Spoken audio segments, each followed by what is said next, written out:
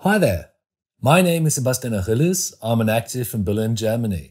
On screen, I've appeared in the Netflix production Dogs of Berlin and in Sky's Eight Days, as well as in numerous series and films on public and private German channels. My roles range from love interest. I need somebody to heal, somebody to know, somebody to have, somebody.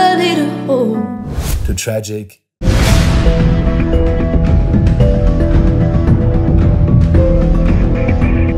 To tough guys.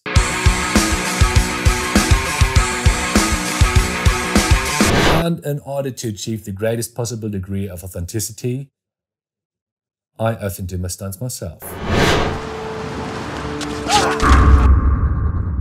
One of my most fun international productions was BBC's arena spectacular Walking with Dinosaurs.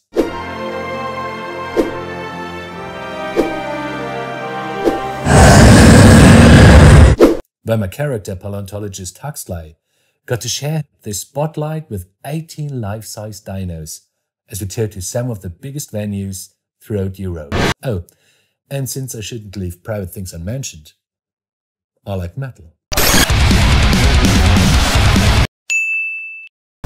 Thank you for your time.